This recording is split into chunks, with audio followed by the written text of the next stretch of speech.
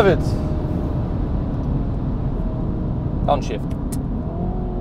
Pá, pá, pá, pá, pá, pá, pá. Era bom. Já não há pá para ninguém. pá, pá, pá, pá, pá. Ai, mini, mini.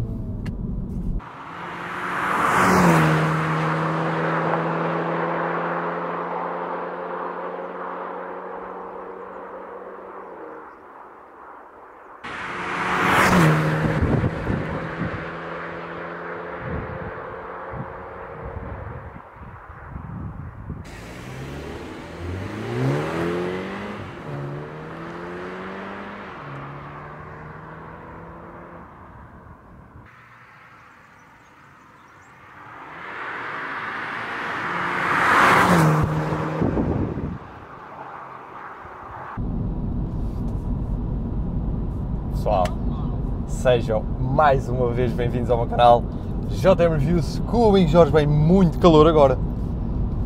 Já cheira a primavera e espero bem que chegue esse tempo que é o que eu mais gosto. É o melhor para filmar, é o melhor para ter luz, é o melhor para tudo. Portanto, gosto deste tempo. Ainda que isto não seja o tempo adequado para a altura que estamos, mas enfim. Ah, o que é que eu tenho aqui comigo hoje? Em primeiro lugar, tenho já aqui o Draggy prontinho e se calhar vamos já rebentar a review assim, não é? Em grande e depois já vos explico umas coisas. Portanto, o que é que eu vou fazer? Sim, é um John Cooper Works. Vou meter no Sport, vou meter no Traction e vou meter a caixa no Sport. E temos tudo pronto para Launch Control. E vamos a isto. Draggy ready. Get ready. Pressionar o travão. Acelerador. Launch Control ativo. Boom! Bora, bora, bora, bora, bora. Bora lá, Mini, bora lá, Mini. Bora, Mini! Vai! Vamos para o quarter mile. Bora! Uh! E acho que já está bom. Uh! Estou curioso, vamos ver. Aí é bem. Nada. Aí é bem. One, ai, eu adoro, pá. One shot, one kill, pá. Gosto disto quando é a primeira e não tenho que estar aqui a perder tempo. Sendo que nunca é a perder tempo. Bem, eu já vou aos números. Em primeiro lugar, o que é que eu tenho comigo hoje? Sim, é mais um Mini. De facto, já trouxe muitos, mas é um carro que eu adoro. E trazia quantos mais, melhor. Pá, gosto muito deste carro, já sabem. Um autêntico brinquedo. Uh, caro, um brinquedo caro. Mas isto porquê? Quando saiu esta geração do... O último facelift do Cooper, eu trouxe logo o Cabrio e trouxe também um John Cooper Works. Entretanto, já trouxe um de 5 portas numa motorização que eu curiosamente nunca tinha conduzido a gasolina, eu creio que não. E agora trago aqui este porque é a carroceria mais clássica, nunca tinha trazido. No atual John Cooper Works Facelift, este é, uh, para mim, pá, eu acho que sempre foi de facto aquela carroceria mais clássica, a três portas, fechado, e portanto, como ainda não tinha trazido nenhum, fica aqui. Eu sei que também tinha pessoas que me pediram para trazer este em específico, um, pá, é talvez um dos mais populares, ainda como o meu preferido, seja o Cabrio, seja sempre o Cabrio. Já sabem que eu gosto muito dos Cabrios e ainda agora trouxe um da geração anterior, é verdade, aquele R57 incrível. Quem não viu essa review vá ver, está brutal mesmo, com chamas, com pops and bangs, tudo o que não temos aqui hoje. Um, e bem, o que é que eu vos posso dizer? Fizemos do 0 ao 100 6 segundos exatos, 6 segundos e o quarter mile em 13,96, quarter mile 13,96. E eu agora vou dar aqui só mais uma oportunidade para ver se conseguimos ainda um bocadinho melhor. Vamos ver se conseguimos. Ora, caixa no Sport. Vamos já arrancar com isto. Acho que aqui está bom. Vamos a isto. Pisar. Ativo. E siga. Bora, bora, bora, bora, bora, bora, bora. Bora, Mini! E vamos para o quarter mile outra vez. Straight, straight, straight, straight. Acho que já está bom outra vez, vamos ver. Não sei se foi melhor. Aí é bem, foi um bocadinho melhor. 5,99. Ai, como assim? Aí é bem, 0 ao 100 e o quarter mile em 13,98. O quarter mile, acho que o outro foi 13,96. Exatamente. O outro quarter mile foi melhor, mas do 0 ao 100 conseguimos aqui abaixo dos 6 segundos. Ei! isto aqui é o Mini com tração dianteira, ok? É o John Coupe Works normal de 231 cavalos. Temos o nosso 2 litros, 4 cilindros, transversal, tração dianteira. Portanto, aquilo que já existe há algum tempo, desde que saiu esta geração, é sempre o mesmo. 231 cavalos, 320 binário, acoplado a esta caixa de 8, top também, que eu adoro, eu gosto de tudo aqui, mas é tração dianteira.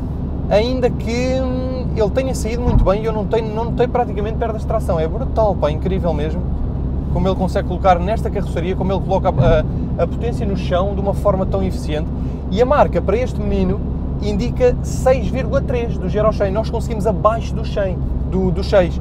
Pá, para este carro, para esta carroceria, para este nível de potência já é muito bom. Tudo stock, ok?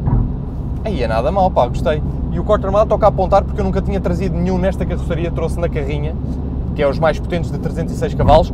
Portanto, aqui conseguimos 13,96 para o corte armado, que também não é nada mal. Honestamente, para este menino, um carro que pesa já mais de 1200 kg, não é muito, pá, não é muito, evidentemente, mas também considerando aqui a carroçaria, aí eu gostei muito disto.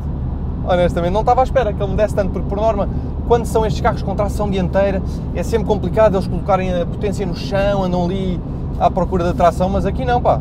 Ele foi bem equilibrado, bem eficiente, não fugiu quase nada. Claro que isto depois também depende sempre das condições do piso, dos pneus, tudo isso. Nós aqui temos de facto uh, as condições ideais, é onde eu costumo fazer, a direito, os pneus se calhar já estão um bocadinho mais quentes um, e portanto, se calhar agora, epá, provavelmente ele ainda conseguiria fazer melhor, mas é engraçado porque tudo stock faz isto. Agora já sabemos que se quisermos aumentar a potência neste tipo de carros é o velho, a velha questão, tudo pós dianteiro. Uh, ele depois pode andar bem quando vai, por exemplo, assim a 120 pisam, ele se calhar entrega mais binário. Agora em arranques neste tipo de carros ter mais potência, mais binário, não é assim muito bom, um, porque de facto ele não consegue colocar essa potência toda no chão. Assim é talvez, digamos que o compromisso mais equilibrado. Aí eu gostei muito disto. Máquina. Outra coisa engraçada, nós agora vamos só dar aqui uma voltinha com ele, sim, porque isto é praticamente tudo igual. Depois vou-vos mostrar um bocadinho de fora, porque este carro está muito giro a nível de configuração. Pá, gostei de facto bastante. Uh, e já sabem que eu sou fã deste, deste Mini. Uh, portanto, vamos só dar aqui uma voltinha uh, com este John Coupe Works, é sempre um prazer conduzir qualquer um que seja. E confesso que já estou bem ansioso pela próxima geração, que muito provavelmente vai ser 100% elétrica só, pá, vamos ver, eu espero bem que não, pá. Uh, mas eu já divulguei umas imagens, é verdade, aproveitem para me seguir no Instagram, porque eu lá vou metendo sneak peeks, vou colocando mais coisas, sigam-me, é essencial, eu já coloquei lá umas imagens da próxima geração do Mini que já foi apanhado, um, e creio que aquilo vai ser o produto final. Portanto, aproveitem para me seguirem em todo lado e subscrevam atualmente o canal para não perderem nada.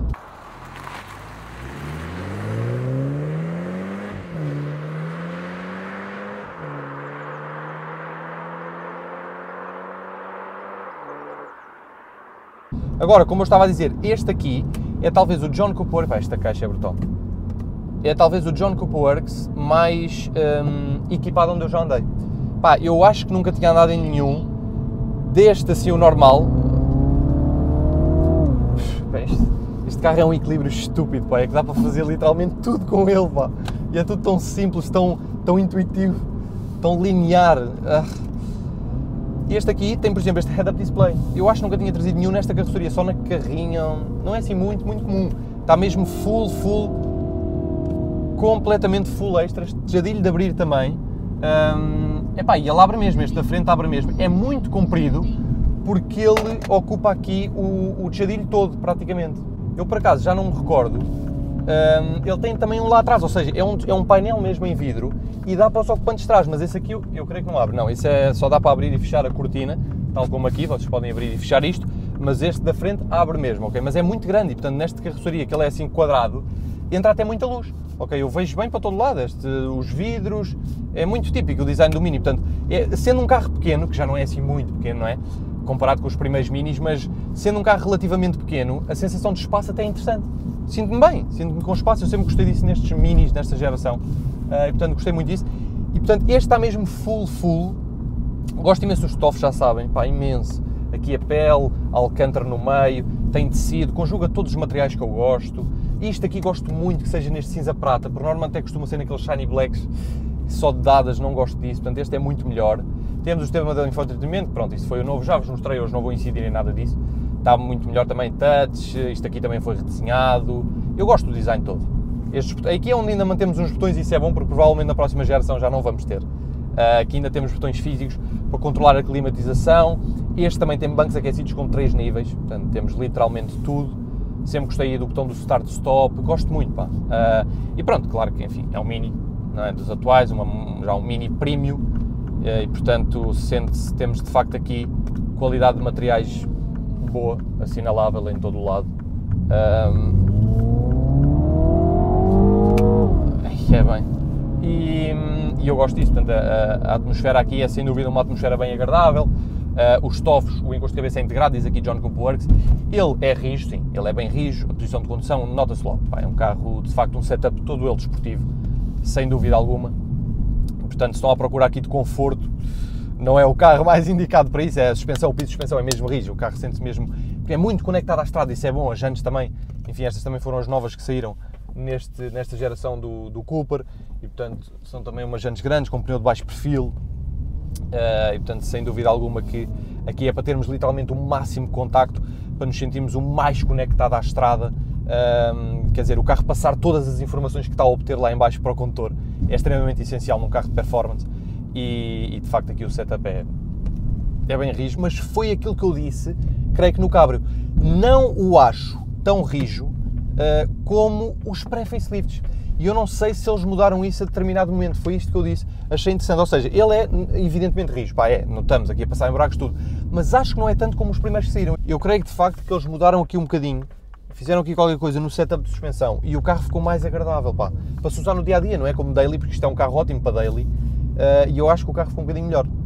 É rijo, volto a dizer, mas não é tanto, eu acho que não é tanto como os primeiros que saíram desta geração do Cooper. Portanto, gostei de facto disso, dessa atenção. O nosso quadrante é também já o novo, todo digital, que agora já temos em todos os modelos. Uh, eu gosto muito disso, também muda consoante os modos de condução. Por exemplo, eu agora tinha vindo no Sport, vou passar para o Green. Temos os modos de condução iguais, Sport, Green e o normal. O Green para optimizar os consumos. Já acumulei aqui qualquer coisinha. Vou tirar também do Traction, temos aí o botão para o controle de tração. Uh, e o resto é basicamente conta rotações, ali do combustível, vem os consumos, as autonomias e no head-up display muito giro, porque quando está no Sport era isso que eu estava à espera de ver, tem também o conta rotações, dá-nos ali um gráfico em crescendo, quando estamos de facto a fazer uma condução desportiva, para isto estar no nosso campo de visão, nós não temos de tirar praticamente os olhos da estrada e vermos tudo o que é que está a acontecer, controlarmos bem ali as rotações, gostei imenso disso, salta mesmo à vista, uh, era isso que eu estava curioso de experimentar neste head-up display. E uma coisa pá, que eu tenho que falar, que me surpreendeu, porque muito provavelmente este carro uh, estaria a fazer, uh, enfim, umas conduções equilibradas. Uh, ai, por acaso agora já não sei se ainda tem. Não, ainda está. Este carro está a fazer de consumos, desde que eu peguei nele, 7,9. 7,9. Honestamente, neste tipo de carro, eu acho que é muito bom. Pá, muito bom mesmo, porque é, é, muito fácil nós fazermos consumos mais ou menos abaixo de 10 com este carro. Mas 7,9 já é outro nível e provavelmente ainda faria menos. Portanto, como assim? Como também é muito fácil se andarmos sempre a abusar, sport, trocas de caixa, cidade, a fazer acima de 10. Portanto, pá, nada mal. Confesso que me surpreendeu quando olhei para ali e vi 7.9, até pensei que estava aqui alguma coisa mal. Uh, mas não, é mesmo 7.9. Portanto, quem acha que não dá para fazer consumos mais ou menos equilibrados com o John Cooper Works, desengane-se, porque até dá. Uh, e é isto. Basicamente tudo o resto já conhecemos um carro com equilíbrio fantástico, um go-kart feeling incrível. Vou voltar a passar para o Sport, a direção é extremamente comunicativa, pá, uma coisa louca mesmo. Uh, sentimos de facto bastante o carro. A caixa típica 8 também incrível, super rápida, onde podemos controlar nas patilhas. Está ali o gráfico, bum bum bum, vai a crescer. Aí é brutal e ela dá mesmo uns coisas para passar, a caixa é muito boa. Eu, eu acho que lá está. Claro que hum, do ponto de vista da potência, sempre me pareceu que faltava potência e continua, enfim, não é um carro muito potente, pá, para carro de performance, não é. Mas é já aquela, aquela base, aquela plataforma que se quiserem dá para, pá, para fazer algumas modificações, não tão abusadas, é o que eu digo, porque depois ele não consegue colocar a potência tão bem no chão. Hum, mas é, é uma boa base, eu acho que é já uma excelente base de trabalho, é um carro mesmo com um compromisso brutal. Se mudarem as linhas de escape, tudo isso, downpipes fica brutal, porque este, pronto, foi aquilo que eu disse, é já da última geração, que onde a nota de escape é a pior de todas. Eu disse isso também no Cabrio, já não há uma pipoca, nada pá, é incrível como é que é possível nem uma pipoca neste carro pá. E aqui pela, no interior, creio que vem também pelo, um bocadinho pelas colunas, as Harman Kardon, uh, não faz praticamente barulho. Eu só gosto do ronco dele, tipo quando vamos em segunda, uh, quando vamos tipo assim, segunda, mas isto aqui não se vai ouvir, lá fora é que se ouve mais, aceleram e tiram. Tipo, aquele ronco, aquele ronco que ele faz é bonito, lá fora ouve-se bem, mas é só isso, pá. Portanto, tudo abafado, claramente precisa aqui de um downpipe e de uma linha para abrir a goela uh, e para ele libertar todo o som que este carro e, e estes minis, meu Deus, ficam com uns, umas linhas, uns sons absolutamente inacreditáveis. E portanto, agora vou, por exemplo, em quarta, não reduzi ele demora um bocadinho a pegar. Uh, também não é muito binário, não é? São 320. Mas lá está, eu, eu acho que é um bom equilíbrio. Agora, sem dúvida alguma, que os modelos que saíram com os novos blocos de 306, que eu já experimentei na BM e na Mini, são do melhor. E portanto, aqui era o que eu falava também ontem queria muito experimentar, porque me está a faltar o GP. Pá, o GP é que, o GP é que deve ser mesmo um compromisso brutal. Nesta carroceria com 306 cavalos menos peso, é o que falta, porque 231 honestamente parece muito, atendendo ao peso, mas fica curto, fica um bocadinho curto. Este carro merece mais, este chassi merece mais, esta plataforma merece mais. Uh, e portanto eu tenho muita curiosidade em experimentar todos os GPs, como vos disse, mas especificamente o novo porque é já muita potência e acho que vai ser o casamento perfeito para esta carroceria.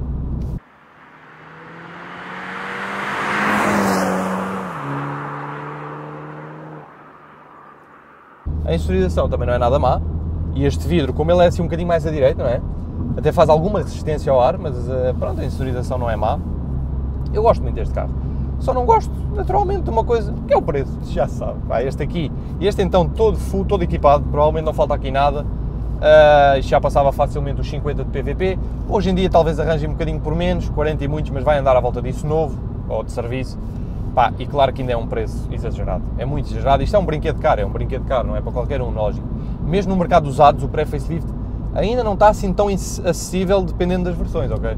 Mesmo o, o segundo facelift que ele teve já, ou o primeiro facelift, este é talvez o segundo facelift, onde já tinha as Union Jack atrás, as exóticas, tudo novo, ainda é um bocadinho caro. Só mesmo os primeiros todos, que são os melhores também a nível de som, é, provavelmente se eu fosse comprar um era um desses. Uh, esse já se consegue ali nos 20 e tal mil euros, alguns, mas ainda é um carro caro, pá, ainda é um carro caro.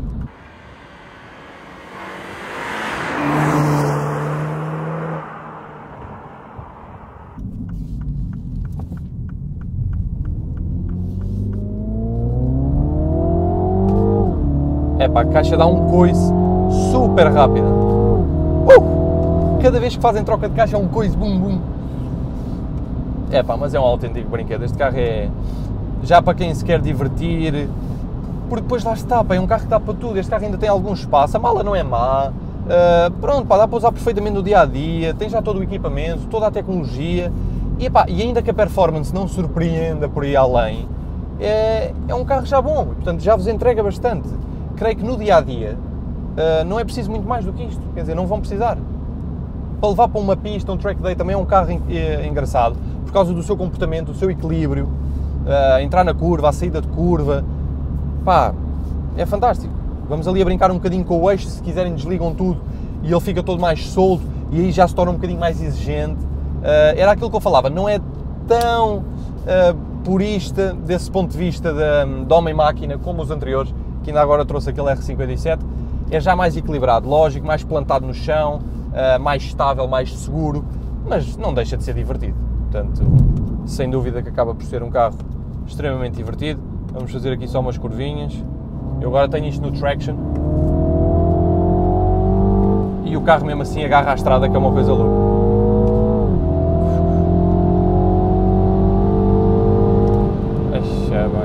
Os travões também são fantásticos super eficientes.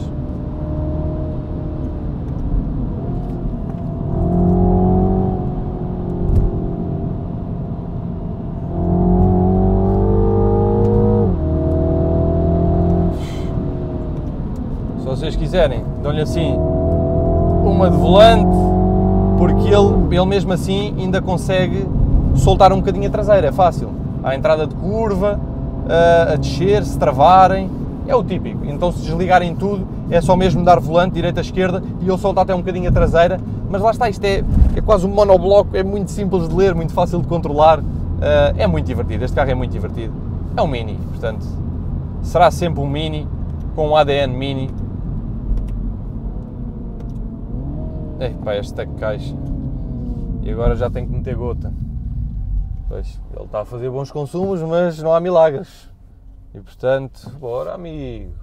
Agora vou-vos só mostrar o carro um bocadinho por fora, muito rapidamente, só para vos mostrar a configuração, eu gostei. E a cor também acho que está, está assim muito agressivo. Mini Pocket Rocket bem agressivo. E já voltamos aqui para terminar.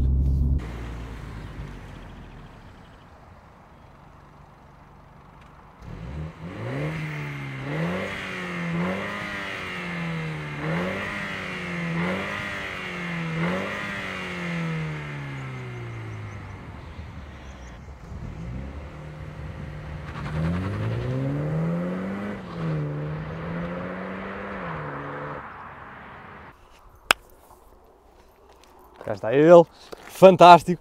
Eu acho que nunca tinha trazido nenhum em preto, é verdade, acho que não. Fica muito giro, pá, mesmo agressivo.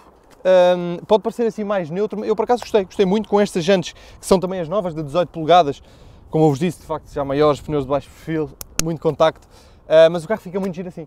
Aqui as minhas cores preferidas, pá, e tratando-se do Mini, acho que é um carro com muita personalidade, com muito carisma, precisa de cores fortes, mas honestamente acho que esta assenta bem, porque é aquilo que estou um bocadinho, não é? Talvez tão comum ver o Mini nesta cor e eu acho que fica bem.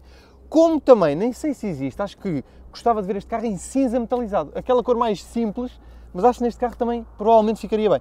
Mas pronto, aqui das minhas preferidas é o British Racing Green, qualquer tom de verde eu gosto imenso, e depois outras mais chamativas, tipo amarelos ou encarnados, mas gostei de o ver assim em preto. Tudo o resto é exatamente igual, temos o nosso spoiler, Zunion Jack, as molduras, tudo isso em preto também, o que costuma ser cromado, portanto temos o famoso Chrome Delete, gosto disso também, tudo mesmo agressivo. A designação de John Cooper Works e depois toda esta zona foi o que foi redesenhado um, com este difusor muito maior. Vejam o tamanho disto. é um difusor gigante para um carro tão pequeno. Adorei esta colocação aqui da luz, eu tinha-vos dito isso, de marcha atrás. Eu acho que este é de marcha atrás. Ah, não, é do, deve ser de nevoeiro. Marcha atrás é isto. Acho que é de nevoeiro. Fica brutal, parece Fórmula 1, mesmo subtil, elegante e as saídas de escape, ainda com o carro Infelizmente não faço um barulho nada de especial, as saídas são super elegantes. Creio que redesenhadas também eu gostei muito. Pá, está mesmo bonito, elegante, desportivo, moderno. Não sei, gosto. Acho que tudo aqui funciona bem. Aqui, uh, pronto, é, temos também para-choques redesenhado, eu mostrei-vos isso no cabro, já no de 5 portas. Isto aqui, por acaso, ainda não tinha reparado, quer dizer, não tinha se calhar focado isso, é fake, isto não tem entrada a dar, é mesmo fake isto. Ou quer dizer, o ar não circula por aqui. Aqui é que é aberto, aqui está aberto, ok, para arrefecer. Temos este encarnado, este, este traço que eu gosto imenso, acho que fica muito bem, é característico do John Cooper Works, isto aqui também é falso. Uh, as óticas, ficou, é tudo igual, desde o facelift do, do Cooper, gosto também imenso com o LED, podem ter depois o pisca.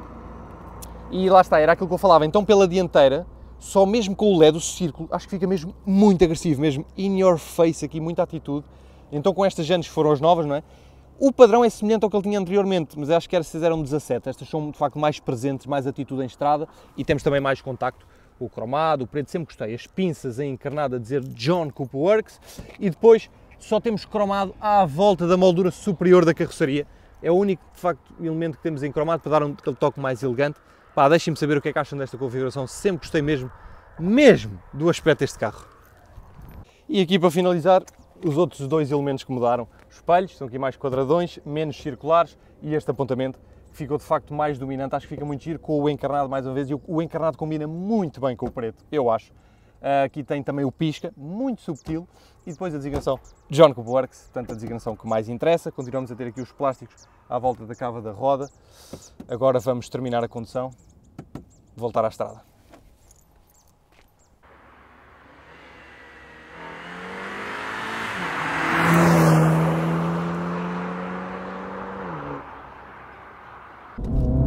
Fazer aqui mais umas curvas.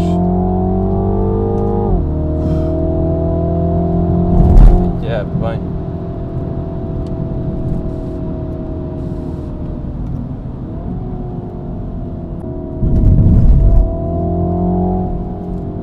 Nós ouvimos de facto muito som aqui dentro, pá. Isto sem dúvida, claramente que vem pelas colunas de som.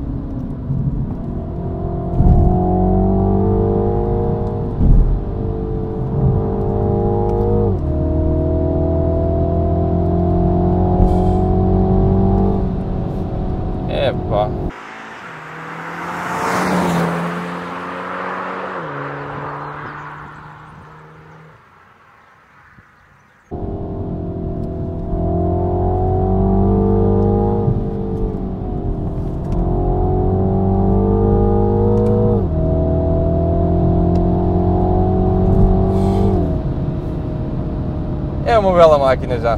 Uma mini máquina.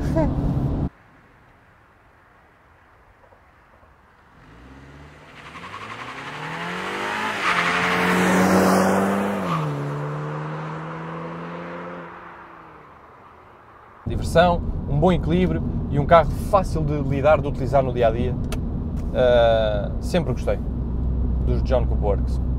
Grandes likes, partilhas, comentários. Sigam-me no meu site barra blog jmvice.pt, página de Facebook e Instagram.